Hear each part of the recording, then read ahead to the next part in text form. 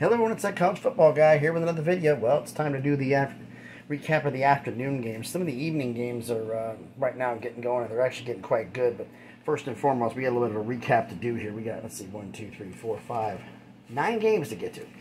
So first and foremost, housekeeping out the way. Everybody hit the thumbs up.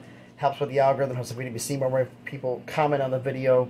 Love interacting with everybody. Subscribe to the channel so we can get just past 200 subscribers on our way to 300. Now, let's get into this. All right, so first game we're talking about is Kentucky and Louisville. Louisville game went, went came in ranked. I don't think they'll be ranked anymore. Kentucky beats them 26 to 13. Um, Will Levis went 11 19 for 188 yards and two touchdowns. Uh, Chris Rodriguez Jr. was 24 carries for a buck 20. Uh, the Kentucky defense, four sacks, five QB hurries, two INTs, and a fumble recovery. They got it done. And congratulations to Kentucky on getting a win. The Iron Bowl, Alabama and Auburn really wasn't much of an iron bowl. Alabama bowls them out 49 to 27. Bryce Young, 20 for 30, 343 yards, three touchdowns and an INT, plus a rushing touchdown, four TDs total. Team rushing 34 carries, 173 yards, and four touchdowns. The defense for Bama, four sacks, eight QB hurries, two fumble recoveries. How bad are you? A fumble recovery was made by an Alabama player, maybe one of the best names in college football. I'm not making this up. Kool Aid McKinstry. He's a sophomore defensive back for Alabama. You heard me right. Kool Aid McKinstry. Doubt me? Look it up. Wow. But Alabama got another win. All right. SMU and Memphis. I thought Memphis had a chance to pull the S. The upset, that's why I went against the Sharks. Sharks said they would not cover the SMU wouldn't cover the spread, but they'd win. Well, the Sharks are right. SMU beat Memphis 34 to 31. Tanner Mordecai was 22 with 30, 238 yards and two touchdowns. Tyler Lavine threw in two rushing touchdowns of his own. Memphis actually had a chance late to win this game, and um, they were driving down the field and threw the and um, Seth Henigan threw the ball in the back of the end zone, and Brandon Crossley intercepted it with two seconds left to give Memphis to give SMU the win. Memphis tried to go for it, just wasn't in the cards. Congratulations SMU on getting the win. Minnesota and Wisconsin. Okay. PJ Fleck took this job in Minnesota a while back. And the deal with taking the job was simply this. Can you beat, change the way the rivalry's gone and beat Wisconsin? Because Wisconsin hasn't beaten up Minnesota for a better part of a decade. Well, Minnesota beats them 27 to 16. First time since 1993 and 1994 that Wisconsin has lost, or Minnesota has beaten Wisconsin in back to back games. So, congratulations, Minnesota, on that. Uh, let's see here. Oh, Lord, I'm going to butcher this last name. Kalik. Kaliak. Kaliakmanis? oh, boy. Uh, the freshman quarterback from Minnesota, 19 to 29, 319 yards and two touchdowns. Uh, Mohamed Ibrahim, he actually was the defense of Wisconsin did a good job. They only held him to 70 yards rushing. He didn't have much to contribute much. Um, final parts of this game was actually pretty interesting. Graham Mertz, Wisconsin was driving in their final drive of the game. Graham Mertz, the starting QB, got knocked out, so I think make sure Chase Wolf was the backup. Try to, you know, lead him down the field to try to win the game, maybe even tie the game, maybe even win it at that point. Especially not 27-16, excuse me, it was 22 23-16, 27-16. 23-16 was the final score. 23-16, 23-16. I can't read my own damn writing. This is on paper. Um, he had a chance to get the game, but Wisconsin just shot themselves in the foot. Pass interference play on a false start. Next thing you know, actually pass, inter- excuse me, pass interference. In the, I'm getting ahead of myself. Pass interference in the end zone against Minnesota made it first and goal at the five with I think it was what was it 26 seconds left. So they have a chance to win this game. Commit back-to-back penalties. Minnesota's now, excuse me, Wisconsin's now, uh, where they're pushed back to the 20. And then Wisconsin, you know, uh, Wolf was trying to get the ball down the field, threw an incompletion. Then Wisconsin has two more false starts. So, basically, it now becomes the point where you have to you're way down the field. They're at their own 25. They're at the 25 yard line, I believe it was. So Wisconsin's got to try to throw the ball first and goal for at the goal line. It's supposed to be a goal play. I think it was excuse me, third and goal at the 25. And he throws the ball, Wolf throws the ball up into the crowd, and needless to say, got knocked down by Minnesota. Wisconsin just shot themselves in the foot on this one. They had a chance and just penalty after penalty after penalty after penalty.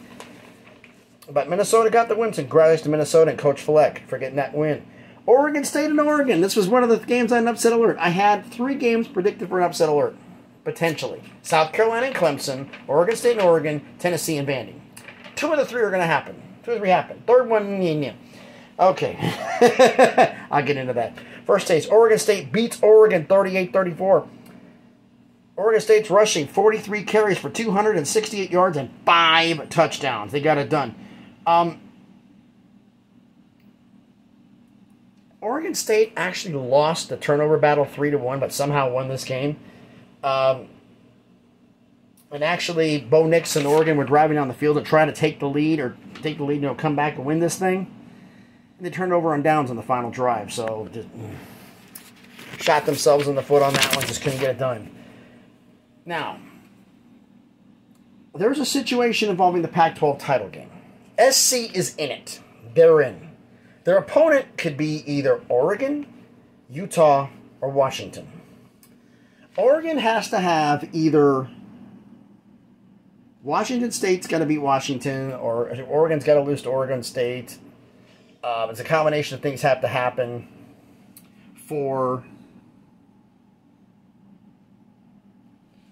um, Oregon has to Oregon has to win, or you know, Washington has to lose. Was, excuse me. Oregon to get in, they have to have they have to win their game, or Washington Washington has to lose to Washington State. That game's still in doubt here. Um, Oregon lost to Oregon State. Utah can get in if they beat Colorado, which they did, 63 to 21. Cam Rising 17 to 19, 234 yards and three touchdowns. Total rushing for the for Utah, 43 carries, 383 yards and five TDs. And Ja'Quinden Jackson, the freshman running back, was 10 carries for a buck 17 and three of those five touchdowns. Dominating performance by Utah. But anyway, basically is this. I'll get back to this real quick. Oregon had to beat Oregon State, and Washington has to lose to Washington State for Oregon to get in.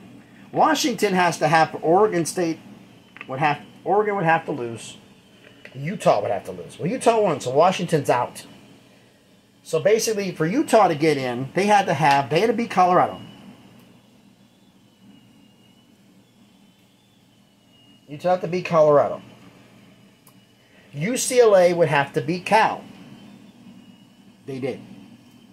Oregon State would have to beat Oregon. They did. If Washington beats Washington State, it makes it a three-way tie at seven and two, and because of strength of conference schedule, Utah would get in. So basically, it means this: if Washington beats Washington State, Utah plays SC in the title game. If Washington State beats Washington, Oregon plays USC in the title game. So that game later tonight determines who goes in the title game, and the two participants have no, aren't either one of them are going. Crazy. Penn State, Michigan State. Let's get back into this here. Penn State beats up on Michigan State 35 to 16. Sean Clifford 19 to 24, 202 yards and four touchdowns. Team rushing 45 carries for a buck 60. Team defense three sacks, six QB hurries, an INT and a fumble recovery. And Abdul Carter, the freshman linebacker, had two of those sacks. So Penn State got it done. Around TCU, I was saying TCU and Iowa State, the Iowa State, if they may win, but they won't cover. I think they wanted to make a statement. Max Duggan and the boys want to make a statement, and did they ever? Max Max Duggan and TCU beats Iowa State 62 to 14, a complete demolition. He was Max Duggan was 17 to 24, 212 yards and three touchdowns. Kendre Miller threw in two rushing t- touchdowns. And there were two pick sixes for TCU. Josh Newton had a 57 yard pick six, and Millard Bradford had a 36 yard pick six. Just offense and defense, total domination, and the score dictates it. And the last game was actually a 6 o'clock game, which just happened. I was hoping UNLV could pull off the win. I predicted them to go 5 and 7. Everybody else had them going 2 and 9 or 2 and 10. Well, UNLV beats Nevada to win the Fremont Cannon 27 to 22. Um, UNLV, it did not look good early. Doug Brumfield, their starting quarterback, went out early. Like he was 0 for 2 passing, and he got knocked out with an injury again. So Harrison Bailey, the Tennessee transfer, steps up, goes 16 to 27, 209 yards, two touchdowns, and an INT. Um, Defensively for UNLV, three sacks, two picks, and a fumble recovery in the end zone for a touchdown, which was done by Jonathan Baldwin, who had one of the INTs and made that fumble recovery touchdown. So basically, what it was was defense, defense, defense, defense, defense got him in this game, and Nevada had a chance late, but they just couldn't cash in. So congratulations to UNLV. They get their fifth win of the year. Stepping stone moving forward to a good season. So, did any of these results surprise me? Um, TCU scoring 62 points surprised me. Um, Oregon State beating Oregon, it didn't really surprise me because I had them on upset alert. South Carolina and Clemson, had upset alert about them. Um, Tennessee Vandy, well, um, last I checked, it was 28 nothing or 35 nothing. It was just horrible. Tennessee is just obliterating Vanderbilt right now. Vandy was, as a college football fan, even though I love Tennessee and I don't want them to lose, it actually would have done my heart some good, even being a Tennessee fan to see it happen. Somebody brought it up in the comments. If Vandy and Kansas played each other in a bowl game, I would watch the first quarter of that game because of the fact of nostalgia. Maybe the last time that's happened, if ever. But Vandy falls to five and seven now, so unless they can score 35 points in a quarter, it ain't happening, folks. So, anything surprise you in these games? I mean, TCU scoring as many points as they did. Um, the upsets, I kind of thought about most of them were going to happen, so I'm not too shocked. Um, tell me what you think down in the comments. What you think down below. So thanks everybody for watching the video. The rest of the games I'm going to do tomorrow. I'm going to be starting in my truck early, so you're probably going to see a truck video tomorrow with me doing a recap of the week as well as the games I didn't do today. Um, it will be early unless something else dictates something otherwise. I'll be doing them doing a video not early, but I'm doing it like lunchtime. Doing a video for that and a recap and with conference championship games coming up, I'm gonna be doing a recap. I looked at my old sheets of who I had going to the conference championships, and oh boy, was that bad. Um, I got one right. One. Uh, ironically, for living in Vegas for 40 years, it's the Mountain West Conference I got right. So, do what you think down in the comments for everything. Thanks everybody for watching the video. Enjoy some college football on Saturday. Please be safe and be good out there.